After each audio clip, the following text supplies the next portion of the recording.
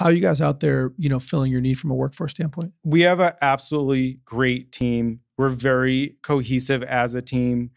And it's amazing because um, in terms of age, very diverse. I Really? mean, we have teenagers and we have people that are not teenagers. um, we had we had a few people that were actually in their 80s, Oh wow. um, and it it is really the intergenerational dynamics are really awesome, and I think it really we are an example of where a diverse workforce is a better workforce. People have different experiences, different life experiences, different areas of knowledge.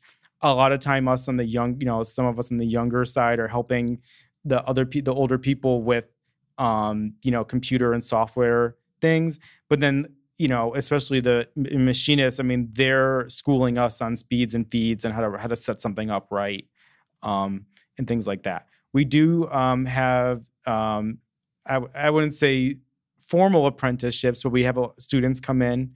Um, we've I've worked with a lot of them, um, and we've hired a few full time, um, and and that's been very rewarding. You know, it's always good to have younger people with the latest education and the latest ideas about how to do things um, contribute.